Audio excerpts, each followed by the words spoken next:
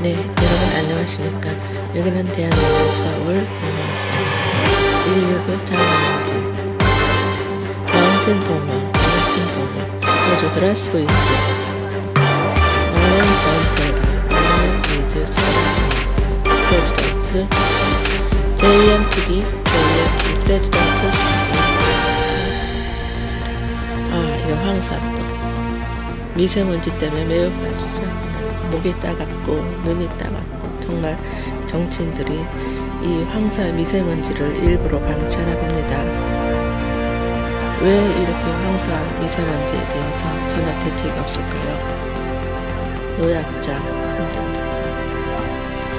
이 미세먼지 황사 목이 따갑고 눈이 얼마나 힘들고 고통스러운지 모릅니다.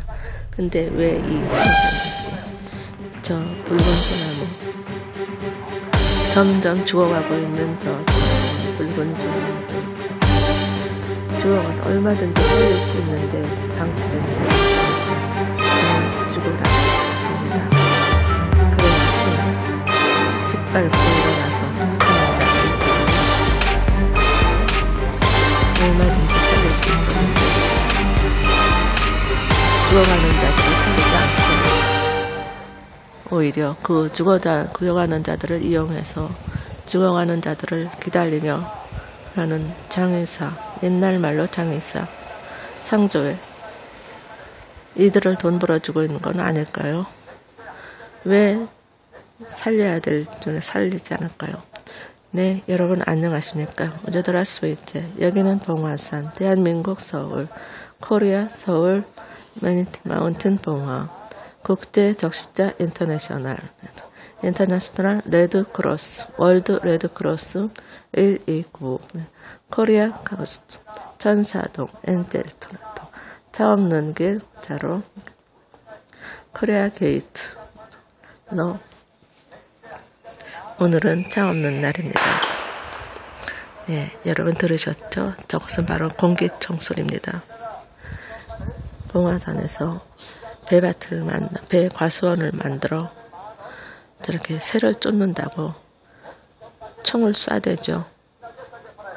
도대체가 너무 너무 시달리고 이것은 진짜 저기 봉화산 보이십니까?